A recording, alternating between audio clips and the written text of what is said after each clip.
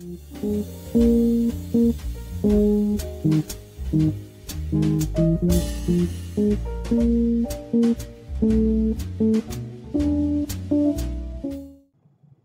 guys and welcome to video 30 in the But How Do It Know companion video series. Today we're going to be looking at the assembly language for our CPU and also we'll learn how to use the automatic clock. So in the past few videos we've basically completed our build here. We've added the flags register, we've added the missing conditional jump circuitry, we've learned about the I.O. instructions and the I.O. Uh, devices that are built inside one of the Arduinos and now we have everything we need to start programming this thing. And instead of programming uh, manually like we did in one of the previous videos, we're going to use the Arduino's memory to write and store our programs. To achieve this, I've created a set of C macros that can act as an assembly language for our computer. Let's take a look at that. So if you open up the Arduino main sketch in the Arduino IDE and you go to the asm.h tab, this is where you will find the definitions for the assembly language.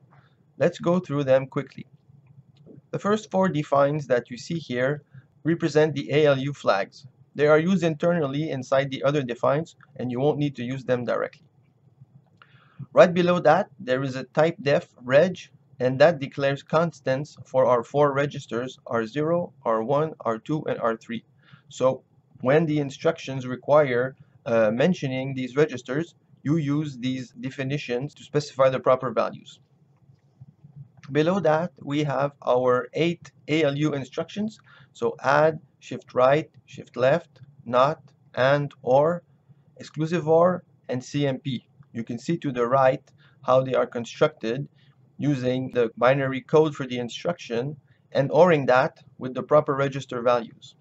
And at the bottom, you have our three data manipulation instructions.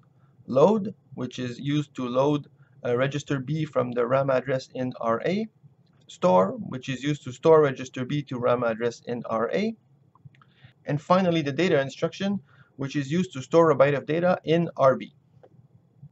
Moving along, we have the jump R and jump instructions, followed by the conditional jump family, which contains one instruction for each possible combination of ALU flags. Then there is the clear flags instruction that we should use before any ALU instruction to make sure that the flags are cleared. Then there is the halt instruction. We haven't talked about this one too much because it's something that I added to John's design. So the halt instruction basically says to the clock to stop ticking and halt the machine.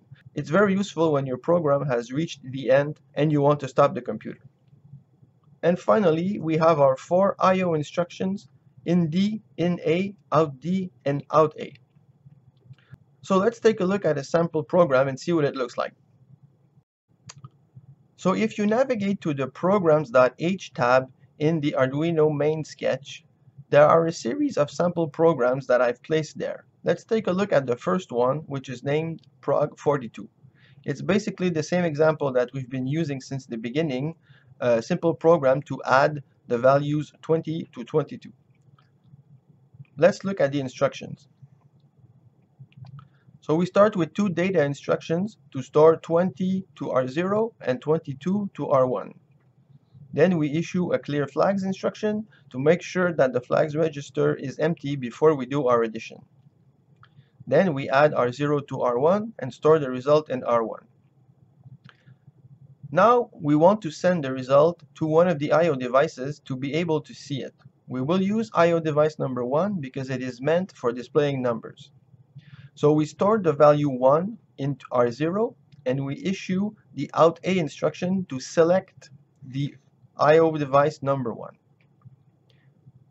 We then do an out D instruction sending the value that is in R1 the answer to our addition. And finally we stop the computer because we have finished what we have to do. Now let's see how to use this program in our computer and also how to have it run by itself by using the automatic clock. To run a program, navigate to the main tab of the Arduino main sketch and locate the define named program. There, replace the null value with your program name. If you want the clock to run automatically, you need to specify a value different than 0 for the Hertz parameter. Here are some sample values.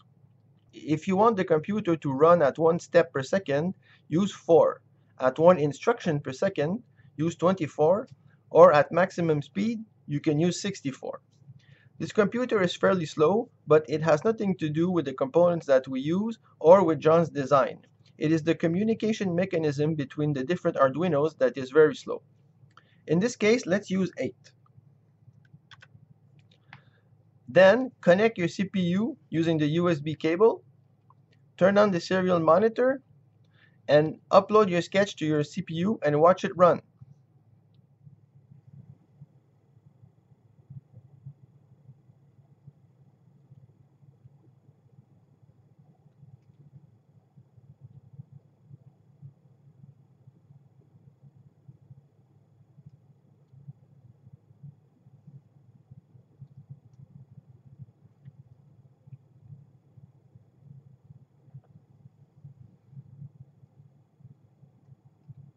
Awesome! As you can see, the program ran properly and printed the correct answer, 42, on the Arduino serial monitor. To write your own programs, navigate to the myprogs.h tab in the Arduino main sketch. There you will find the program template. Simply cut and paste it, change the program name, and add your instructions.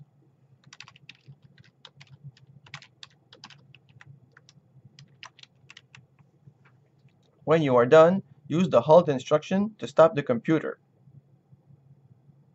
Then, go to the main tab, place your program name in the program parameter, and upload the code to your CPU like before. So that's it for this portion on programming the computer. In the next video, we'll look at some sample programs. See you soon! Thank